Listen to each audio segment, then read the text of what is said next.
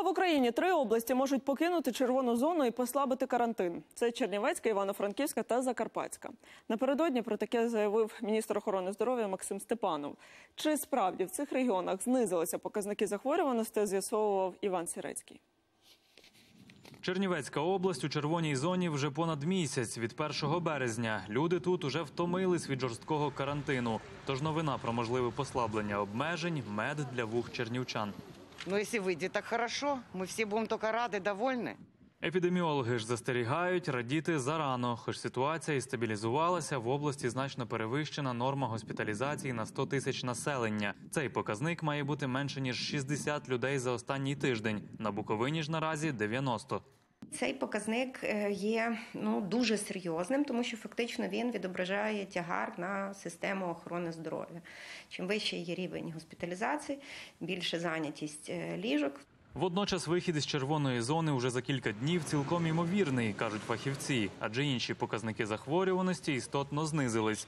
Якщо на початку березня за тиждень виявляли до 4 тисяч нових випадків, то нині удвічі менше. В облдержадміністрації кажуть, це завдяки переходу на дистанційне навчання та закриттю закладів харчування. Наші епідеміологи в епідрозслідуваннях е, дуже чітко визначають, що е, школи, святкування вони були основними такими е, заходами, які давали поштовх для швидкого поширення вірусу. Нині триває великий піст, тож на Буковині масові банкети не влаштовують. Та й самі буковинці переконують, стали відповідальнішими, бо бачать, що вірус уже значно агресивніший. Ми дотрималися всіх Так, карантинних так. правил, з- які були так. Ми менше, ну тобто, ми по можливості, коли була велика захворюваність, ми не виходили, тобто з дому, в сенсі, де в людні місця, е, в масках, все як має бути.